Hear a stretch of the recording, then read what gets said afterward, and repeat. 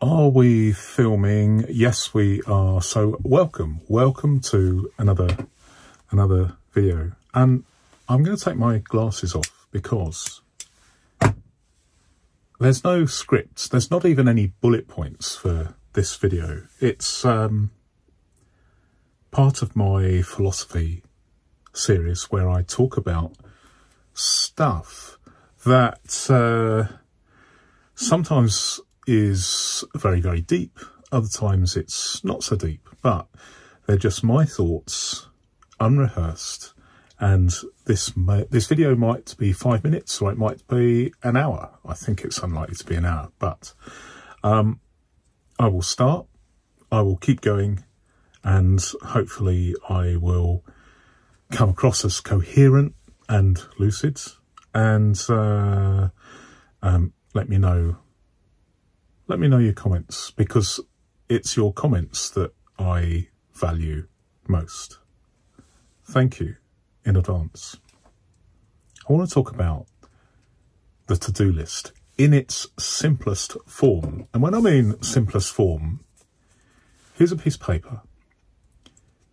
It's A4 and I folded it three times. And then this, so this is A7 and I've put it in this form through my hole punch rather than punch them individually I just do that. And I can take this. I can take this in my pocket. I don't have to worry about anything breaking you know can't uh, uh, there's no there are no rings Filofax rings to worry about or loose papers becoming detached from uh, uh for instance, a discbound notebook, because sometimes that's what happens. Um, and it's very lightweight. It's very, very lightweight. But crucially here, I have got enough paper here, so long as I have a pen, to be able to jot down everything that I need to do, possibly for the next month, as long as I write small on one single sheet of A4. And I don't have to cut it. I can just, when I've, when I've finished one side, then I can fold it over, do another side, and I can keep going until every part of these eight sheets, if I cut them, are complete. And then I've got another eight sheets here.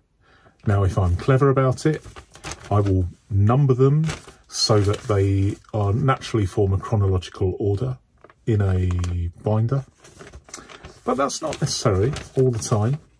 Uh, it depends what you're going to do with it, but it has it has that that reality that is so associated with simplicity.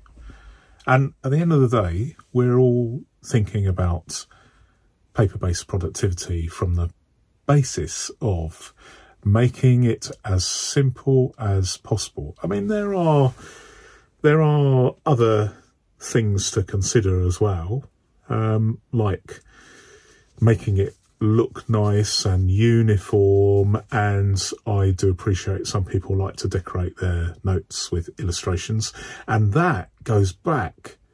That goes back over a thousand years. You look at the Lindisfarne Gospels, it's not just someone jotting stuff down. They're taking care and consideration because it lends weight to the value of that particular prose or information to future readers. There is a, it, it adds gravity to what is being said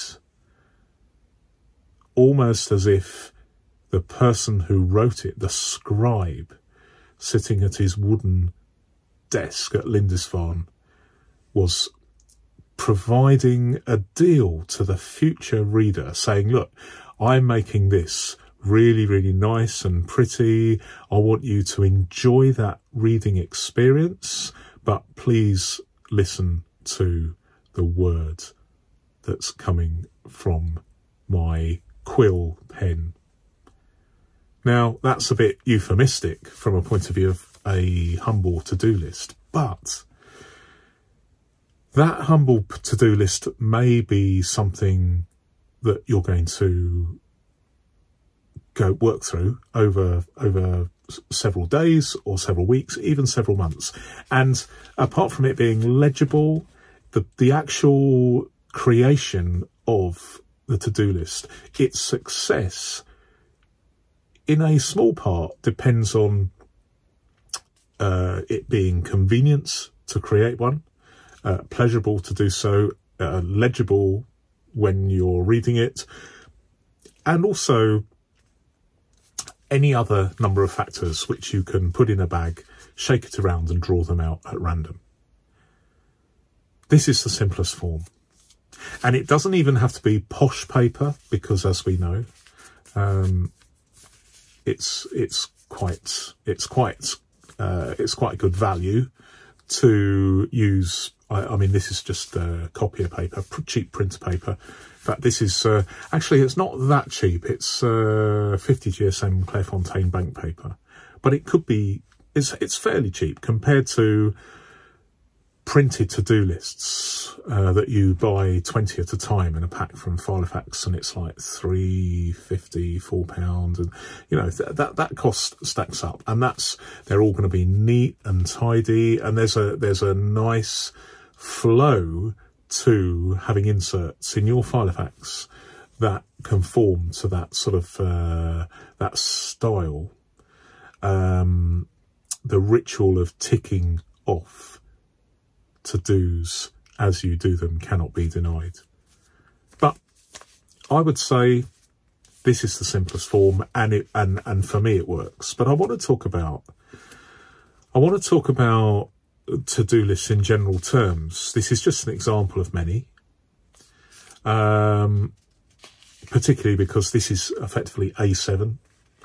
Uh, other people use pocket size uh, A5, A4. I mean, I've I've got a project book up there that is A4, and I, I use that extensively for sort of business related stuff. Um, but I really like this A7 format. I can just put it in a pocket, and then ultimately this will go in a mini Filofax binder. It it just works. But what what I what do I how do I cope with this to do list, which can become quite unruly and lengthy. What do I do? How do I cope? How do I read and interpret and distinguish and sort when I've already added that thought or note onto the paper? And although sometimes it's therapeutic to rewrite it and, and reorder a list by rewriting it again, uh, they, that, that cannot be denied. I mean, it's a, it's a good concept, but it does use a lot of paper what do I do? What am I doing at the moment? And and the reason why I say at the moment is because I chop and change. I chop and change all the time, partly because I I, I have the time to do it. I, I have the luxury of time because I'm retired, although I'm kind of semi-retired. I, I, I still dabble in stuff, antiques largely. Um, but I uh, I I'm sort of fairly time rich, and so I, I, and I can experiment to the to you know to to uh, to my heart's desire, and I have been doing that over the last few years, and I have I have got several systems on the go, but I want to talk about one particular system that I really really like, particularly in this form where I am just potentially carrying a to-do list which consists of one piece of A4 paper folded three times so that it becomes a convenient size to fit in any pocket without even a binder. This could be the one thing I might carry. Reality in the reality, I, I carry a, a typically I carry another binder, which might be a this is a Mini Executive. Uh, I'm enjoying using that a lot at the moment. But I could, I could just have a single sheet of paper and I will be able to get things done. what I'm going to do is I just want I just want to show you, or, or not. Well, am I going to show you? I'm waffling here, but I want to I want to describe because, and I re really want to.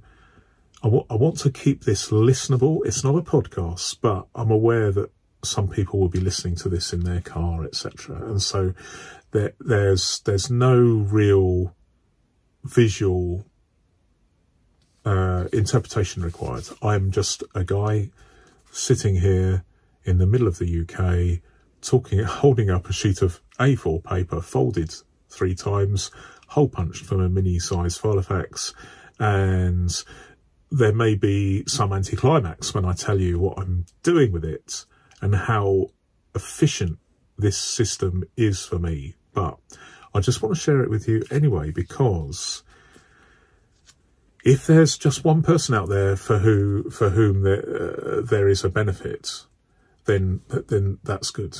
Um, I write things down frequently.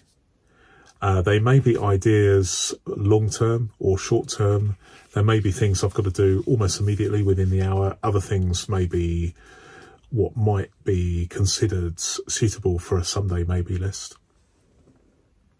So it varies. It varies. And as you know, I although I have dabbled in GTD before now, I I I'm not a GTD disciple anymore.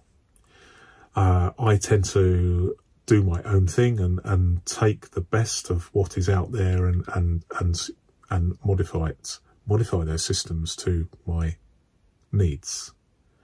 So, what am what on earth am I banging on about? Well, I'll tell you what it is. I want you to imagine that I have got on this sheet of paper, I've got 20 things written down. And that's typical.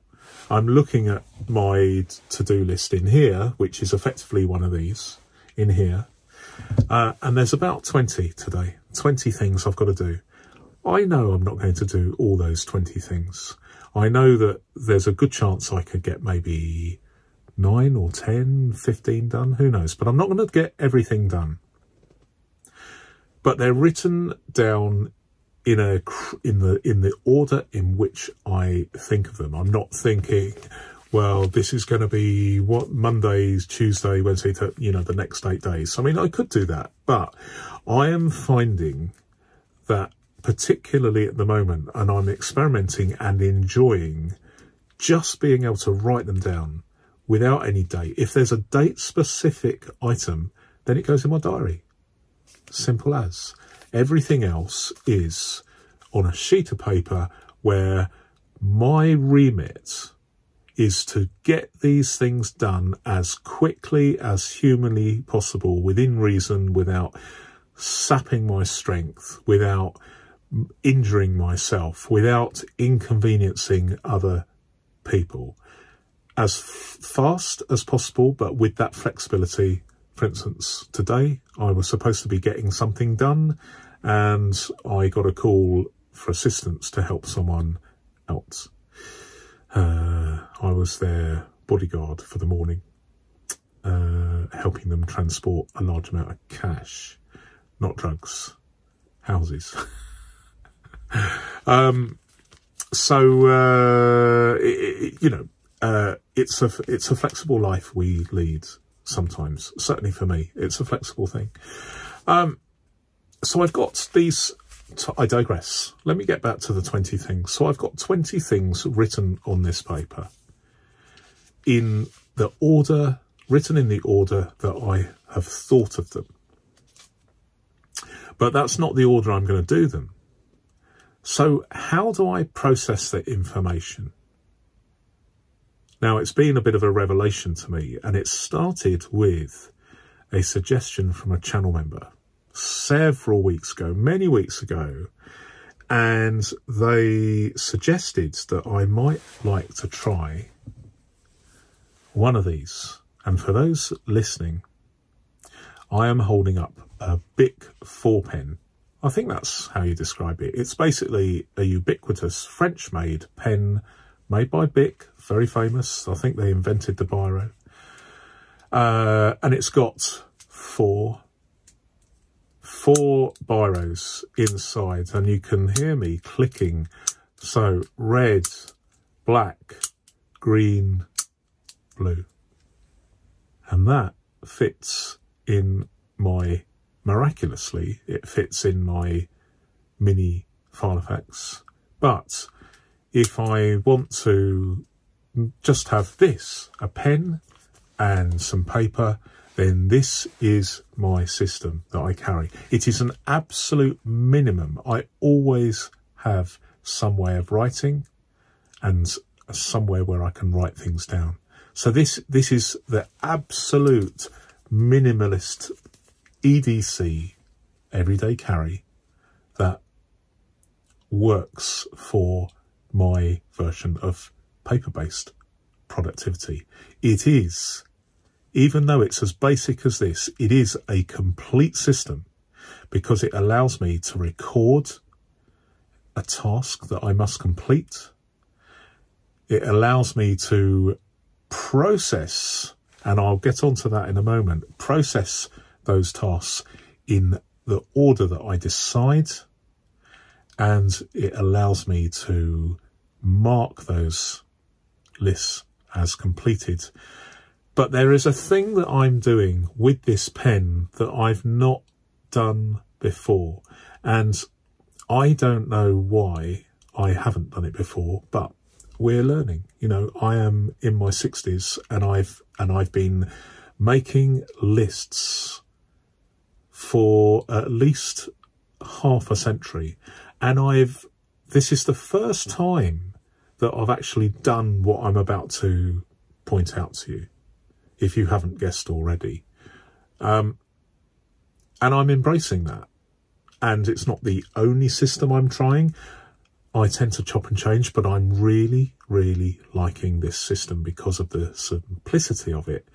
Not just because it's uh, it doesn't doesn't just work with a single sheet of A4 like this, but it would work with other more comprehensive, complex systems as well that are paper based. And it's the red pen, the red pen. I will, I will jot down, I will jot down things and I will first of all use the black pen and write something down. And then I will change every time I write a new thing down, I will change the pen. I mean, it's, these are fundamental things that a primary school child might be expected to, to do concepts. But I've never really thought about using colour to differentiate between tasks. So I want you to imagine that I write, I use the black pen for the first task, and then instead of, instead of compartmentalizing that task by drawing a line or a special box, I will change to a blue pen for the next one and a green for the next one, and then I will change to a black pen. I never use the red pen. So when you look down the list from a point of view of the perception of and the ability to distinguish between tasks, it's much easier through the use of colour. And it's an ad hoc system. I don't have a system where I think, well, right, blue is for medical appointments and green is for something to do with the house and black is for family. I'm not that sophisticated. I'm just getting it down on paper. But the only thing I do is I flick to another pen, biro, colour, if you like, uh, when I start another. So I can easily see that one task is separate from the task above, purely through the use of colour. And then what I do is periodically throughout the day, when I have a coffee, I was going to say when I have a smoke, I used to smoke about 20 years ago. I used to smoke and smoking was an enjoyable thing. And no doubt I'm, I can't remember that far back, but I would have used that time having a cigarette to look at my to-do list. I'm sure I check my diary, etc. Um, but for me now, coffee is my my vice, if you like. It's my only vice in life. And we've all got to have a vice in life. Mine is coffee. An occasional cup of tea too. Um, but what I will do is I will, I'm just going to draw it. and for those of you who, for those of you who are, um, let me, I'm just going to put my glasses on. I should, I, I really, I knew that taking my glasses off was, was wrong. Uh, but I'm putting them back on. And so what I'm doing is, imagine there's a load of tasks here. So I have written the words task one, and there is a big red dot there. Uh, and the, the red is symbolizes a sense of urgency. This is a task that I've really got to address right now. And what I do is when I'm having my coffee and I'm going through, imagine there's 20 tasks on this piece of paper, and I look at them and I decide which of the three tasks, I mean, it's, a, it's an arbitrary number. It could be five, could be eight, could be one. I take three tasks and then I, I can't do more than three tasks at once. I mean, for me, I'm not that good at multitasking. Three is about my limit. And I, and I decide right, those are the three tasks that I am going to do over the next 30 minutes, hour, afternoon, whatever it takes. And I will ignore those. I won't rearrange them. I won't draw up, draw up a list. But the fact that I've only got, I've chosen three things, I don't need to reorder that list because it's very, very easy to see on the page the three tasks that I have highlighted and illuminated with that big red. And when I've done that task, I do something else. So watch this space. I've only got one camera set up at the moment, so I'm just filling in the red dot. And now it's a black dot, or actually it's a blue dot, but it should be black. So the red, so, so I've effectively written over the top of that big red dot so it disappears. It's no longer red. It's no longer symbolic of a sense of urgency. It's now got a blue or black colour symbolising that that task is completed. And then when I have another coffee, maybe an hour's time, hopefully by that time there are no red dots. If there are no red dots, then I can decide, right, I'm going to do three more. And I continue rinsing and repeating, adding to this list because obviously a list at the end of the day may still have outstanding tasks, but you're adding to those tasks all the time. And what I try and do is have no fewer than, so no more than say 20 tasks on the go or on my for my consideration on my list or my sheet of paper at any one time. If there's more than that, then I then I think, well, maybe I shouldn't really be thinking of that at the moment. I'll put it in my diary instead. Uh, I tend to handle someday maybe tasks uh, in diary format. So I say to myself arbitrarily, well, I don't really want to think about that for a fortnight. So I then enter it in my diary in a fortnight's time and then that way I haven't forgotten about it and the timing of that consideration for that task is precisely controlled simply by using my diary, my paper-based diary.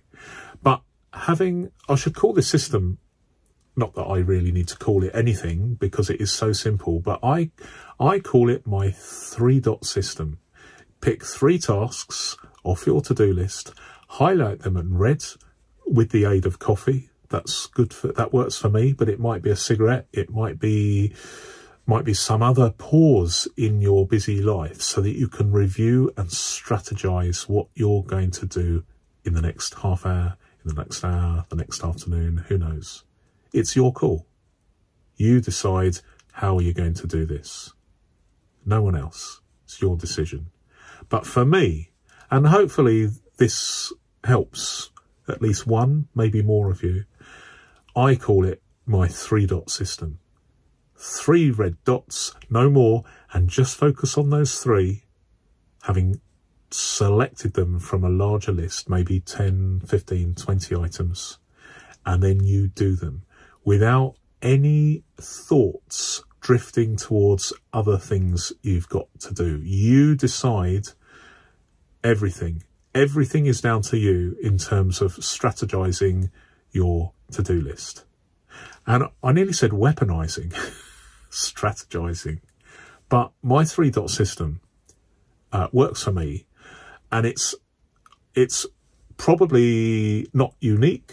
Uh, lots of other people have very, very similar systems, but I, I, for me, with my the way I think, I, I tend to be, I tend to be very, very focused and drill down into some deep thinking. And so, for me, the absolute limit the absolute limit. I'm, I'm going to put this down because it's waving around.